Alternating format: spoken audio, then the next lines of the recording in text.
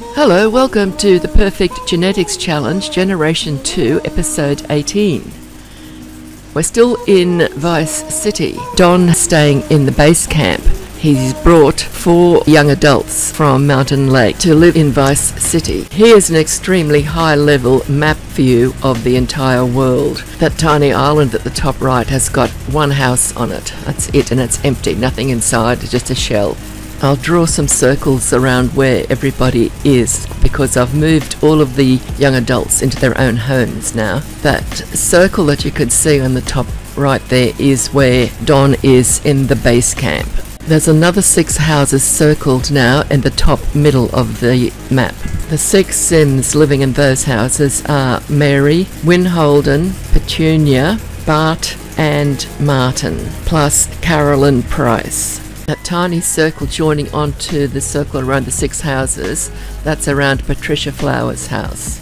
And that next circle, just to the right of Patricia's place, is around the houses where Max and Paul are living. As you can see, I have tried to get them all living close together. I had Barbara in one of those six houses that I mentioned earlier, but she jumped up and ran off and moved into a more developed area of the city. She's living in a high rise building now. She's on the left, about halfway down the world. She's got a star as well as a circle. There are lots of empty houses in this world. I'm obviously not going to be able to put Sims in each one, or the game will simply stop working and a lot of them are just empty shells, but a lot of them do have basic furnishing. And of course, the lots are very tiny, so I can't do much by adding extra of my usual preferred venues. I have found places for a few venues though, and I'll show you where they are. I haven't looked into all of the high rise buildings so far, the skyscrapers, but almost all of the ones I have looked into are just empty shells. I'd love to delete a few and add some venues that I want, but of course, all of the lots are so tiny that at this point I can't see any way of adding any more venues than I've added. I'm hoping to find a spot for a coffee house and a performance park, but I haven't managed to find that yet. I'm trying to retain the overall look of the world because that's why I've got it, because it looks so different. There are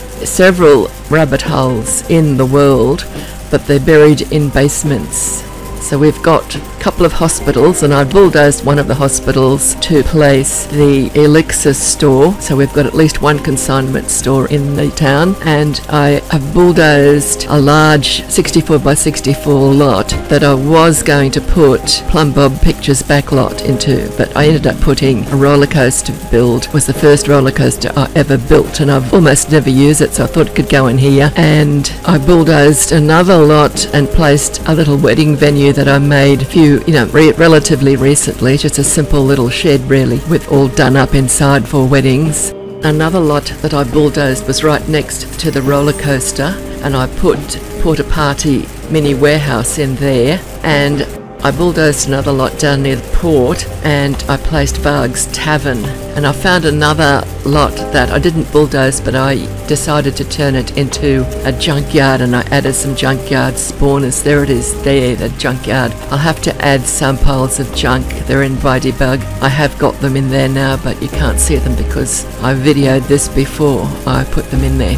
That's called Phil's Place. And not far from the junkyard, there is a graveyard. It's right in the middle of all of the buildings, and it's got several tombstones there, but everything that I looked at has just got remains in it. I couldn't see any Sims buried in that graveyard at this point. This world was never finished, so it's got a lot of shells in it. And the tall buildings, there's some lots that are like 64 tiles in one direction and less than 20 tiles in the other direction. And there's roads and other lots surrounding them closely, so it makes it impossible to find, you know, to even bulldoze something and add an existing venue of any description.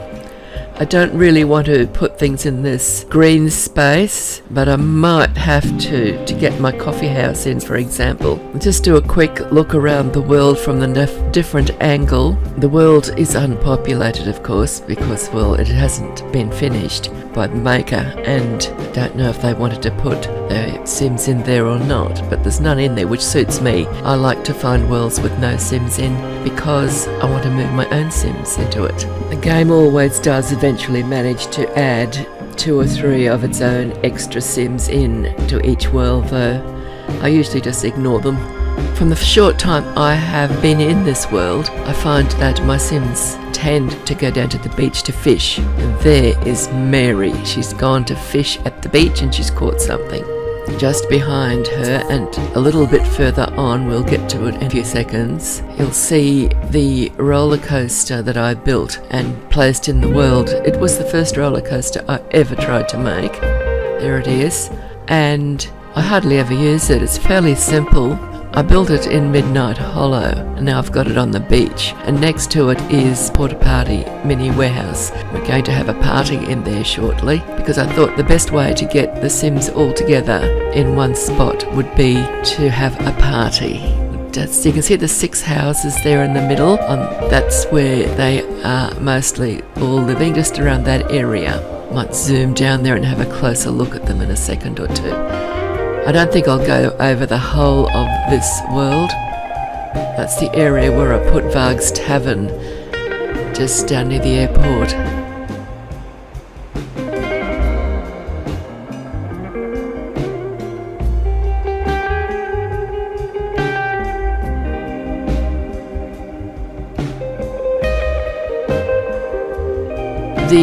Houses and the most of the other buildings are so tiny that there's less than 20 um, tile width on most of the lots and it makes it impossible to put a junkyard from out of the library into it because they're bigger than that in one dimension. So that is the six houses.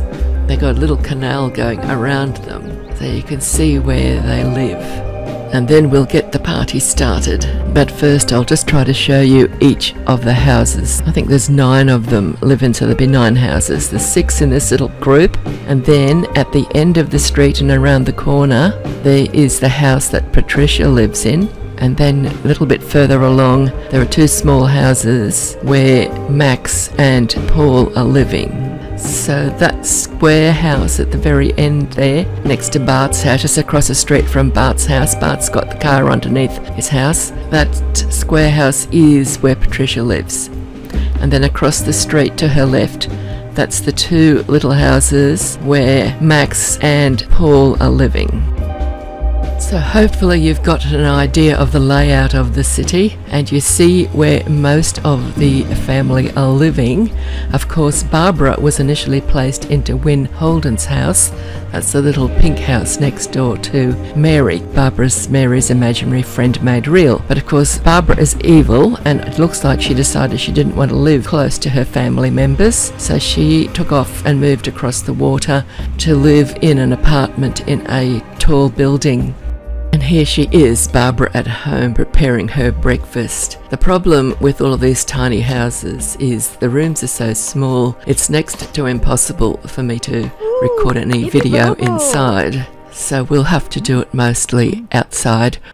Now, Max was enjoying his first day in his own new home on a new world, and he thought he'd go out and do a little bit of exploring. And he found a roller coaster. He'd never seen one of them before and he went in upstairs to one of the rooms on the main building and he found a pool table and he thought he might practice a few trick shots which he'd never tried before. While he was practicing his chosen shot and having no luck whatsoever, he was getting somewhat frustrated when he got a wonderful idea he decided he was going to throw a party, and obviously it would have to be a pool party, and he wished for that pool party. And I thought, I've looked at some of the pools from up above, and I don't think you'd fit 10 Sims on the size of a lot that we've got for swimming pools, and the one lot that was really big and suitable to hold all sorts of things was the lot I bulldozed. It had a pool in it, and I put the roller coaster on there instead.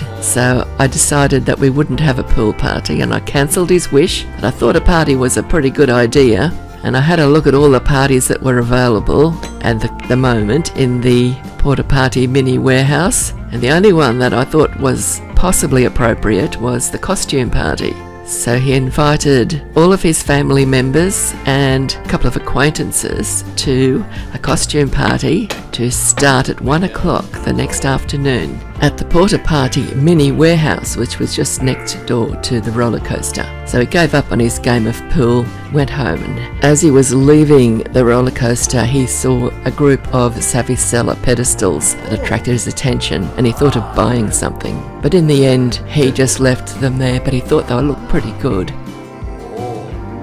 did consider it quite seriously, but then he just went home. It was getting late. Did a little bit of exercise. It looks like he was doing a strength workout and he got the bodybuilder reward, which means that he's never going to get fatigue whenever he does a strength workout from now on. And I suspect he's also going to bulk up his muscles just like Gary has done. And here is a very quick look at the house. As you can see, it's very basic. That's it. You've seen upstairs and downstairs. I've added a basement to a couple of their houses, but not to Max's house. Those two houses on the front are Max and Paul's house. They're both the same, except I've given Paul a basement. And there is City Hall. The City Hall rabbit hole is buried in the basement.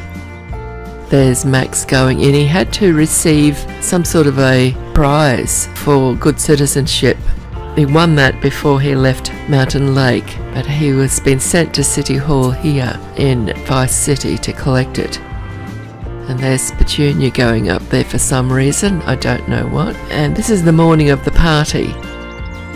Soon as Max reappears, we'll be heading over to the Porta Party mini warehouse to start the party. When I sent Martin and Bart here to live, I had forgotten to wait for them to do their graduation, and I've just noticed they're getting around in their graduation outfits. So they've obviously had their graduation, but we weren't called to go to it because they're living in different houses now. Petunia wasn't in there for long, she's out. There's people going in and out all the time. Now, Max took a really long time to get his award, and I just waited and then I was rushing over to the warehouse because he did get out in time for the party to start, and I had set up for it already, but I must admit I wasn't prepared for what happened. It was a surprise to me. Lots of other Sims walked up and down those steps going in and out of City Hall, but eventually Max came out and he headed straight for the Porta Party mini warehouse. His guests were arriving, and because it was a costume party, I noticed them spinning into their costumes in the car park. I see the blonde Win Holden is there, and the Caroline Prices with the long black pigtails. They've both arrived, and they're the two extras that I have added to the game. The warehouse is right on the beach, and the roller coaster lot is beside it on the right. Max really wanted to have a pool party, but I couldn't think of a good pool for them to go to, so I told him he had to have a costume party and cancelled his wish for a pool party. And here we are at the warehouse. I've put an extra buffet table there and recoloured it red. I thought that it would go with the decor, and the party shall begin. I'd forgotten there was a tiny pool inside this venue, so all of his guests turned up in their costumes, and as soon as they got upstairs in the venue, they changed straight into their swimmers swimmers and jumped in the pool. So it looks like Max got his pool party, but he didn't get the benefit of the extra lifetime happiness points for having his wish granted. The main reason that I have this party is I want all of the Sims that I've placed in the world to get to know each other. And the only way I know to do that is to get them all together at some point and get them interacting with each other. And I thought having a party would probably do that uh, achieve that end, and also we would probably have some fun watching what they get up to. But we're not going to see much because they're just going to be swimming around in the pool and having breath holding competitions. But we'll watch that for a little while. We'll see if everybody jumps in the pool. I didn't see Win Holden getting in there, I don't think. But after a bit, I'll get them out and I'll have Max DJing and playing some music, and Sims will start eating. But it wasn't quite the party I'd hoped for. I think they got to know each other a little bit better there. As long as I know, I get them all into their, each of their relationship panels, so they've got each of the Sims that I want them to know are known to them. Eventually, as more Sims started jumping into the pool, I began to worry about somebody drowning. Most of them were enjoying breath holding competitions, sitting on the floor of the pool. Can recognise a few of my Sims in there. There's just so many heads bobbing around. Not everybody's in there yet. I can see the two alien brothers, Martin and Max, and Max has got the green plumbob because he's the active sim. It's his party. There's Barbara stuck in the middle. And I've seen Patricia, and I think Don's in there too. That's Patricia with the purplish swimmers on. Petunia's there as well. Bart's sitting on the floor having a breath holding competition where he's bobbed up. And Mary, yes, Mary's there. I think I saw a proprietor in there at one point.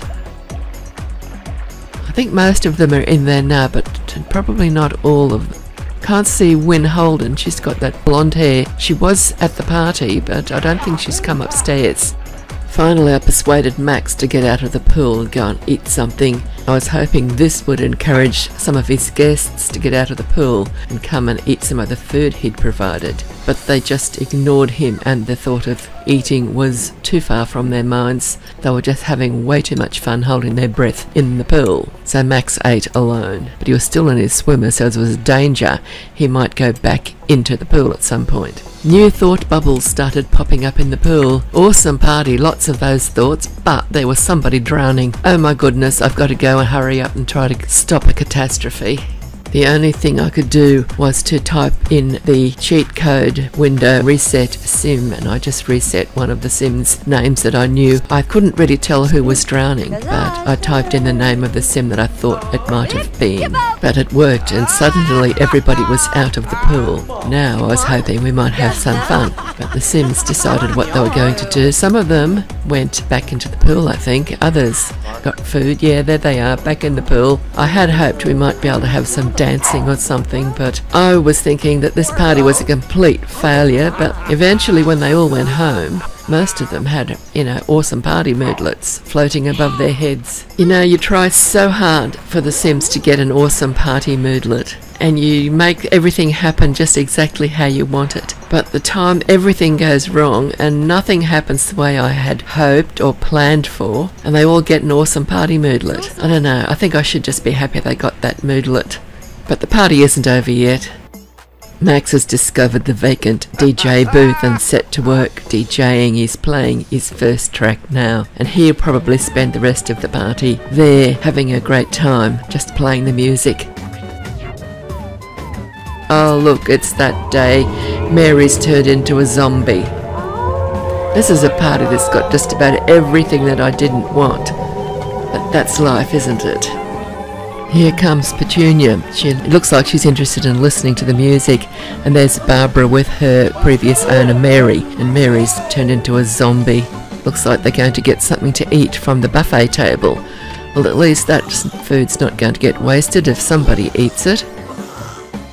Barbara's going to sit at the bar to eat her food, and I suppose Mary will as well. It's funny how the zombies change from zombie to normal mode whenever they're doing something a bit different. They obviously won't set up to do things like take food off the buffet or walk up and down stairs. If you watch, they change into normal mode whenever they're doing that, then straight back into zombie when they're doing oh, something else.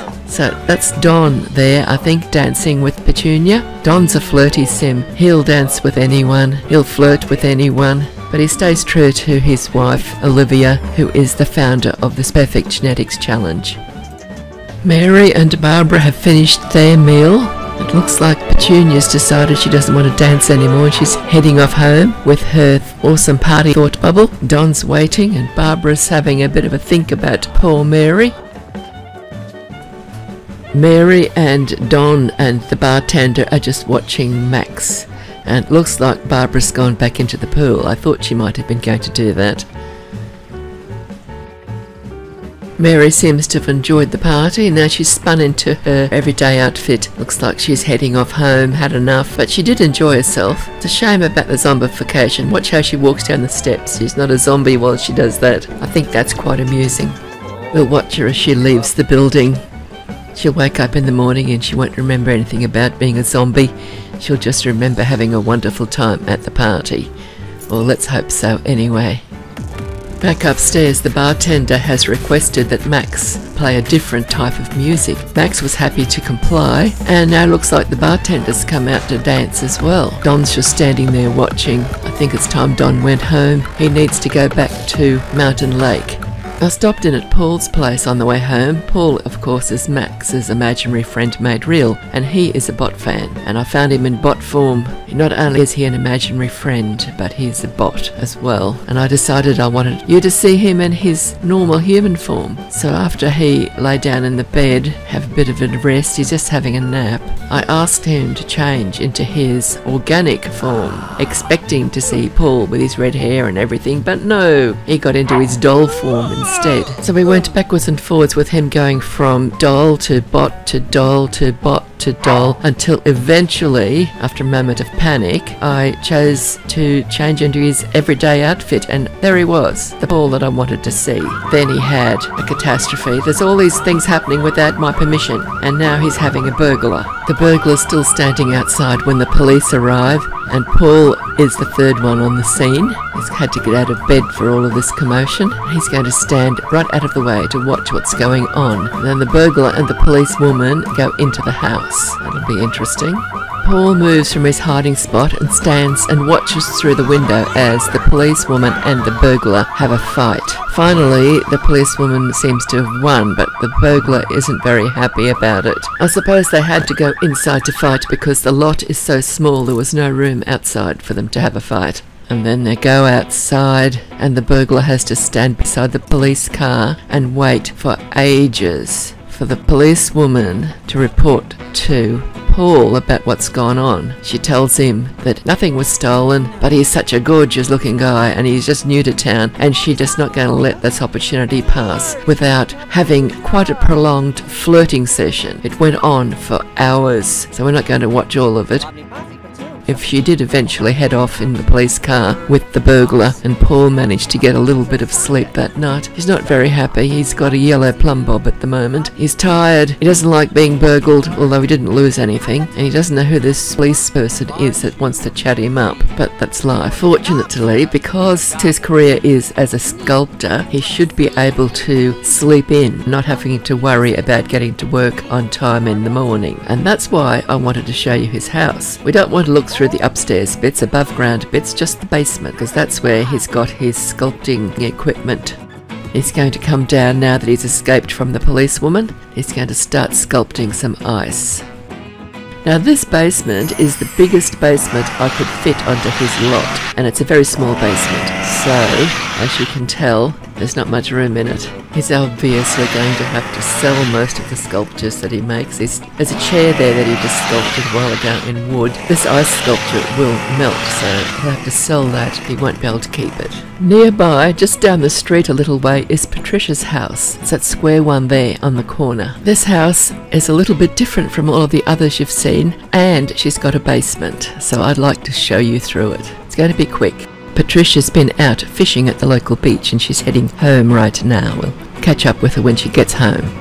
This house is on a larger lot than the others. There she is, she's got home. And now we will just have a quick look down from the top of the roof. So that's the top of the roof, and she's got room on both sides, top and bottom of the screen. The width of the building from left to right is about the size of the lot, but she's got, got space to park her car on the bottom side, and she's got space for a path out to her letterbox on the top side. This is the top level with her bedroom, a small bathroom, and her computer desk is in the spare bedroom. That's her car parking space. It's at the back of the house, and the path is at the to the front of the house is up top of the screen. And then the ground level is here with her TV room and a staircase down to the basement. And on the left is the, the kitchen and dining area, and there's a small bathroom tucked in behind the stairs. And as you can see, this basement is quite long compared to Paul's basement. She's in the alchemy career, so she needed her alchemy station, and I've given her an emergency shower as well.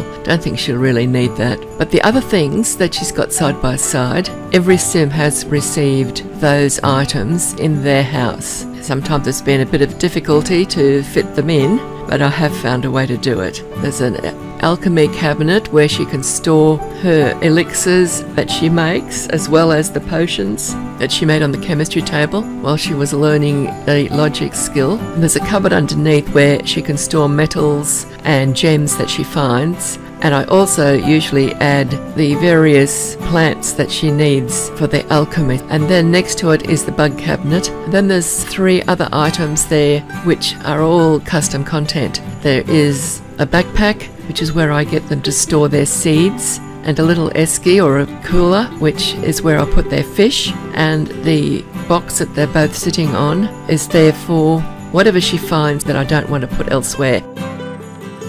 Just a quick look at the TV room and the kitchen from her point of view.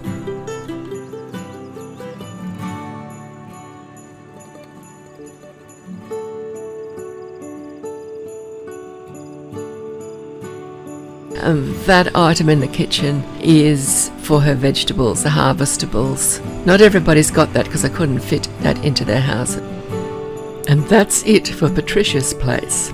I think everybody's settled in quite well now, and I think I have showed you quite a lot of the city, but we will be back with more Sims as they move in.